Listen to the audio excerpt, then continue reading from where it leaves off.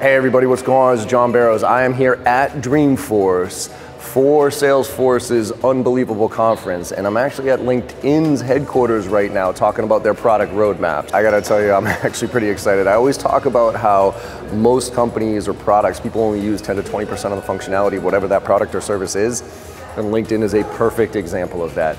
Most people have no idea the functionality that there is in this platform, and with all these new AI tools that they're doing right now, it's unlocking everything. I mean, they got account maps, they got data intel that comes right into the app, and it's serving you up information, and this chat feature, this search feature that is AI driven, that is gonna unlock the power of LinkedIn. So I am super excited about these new releases for them, and I can't wait to see how it's gonna make a difference in sales reps' lives.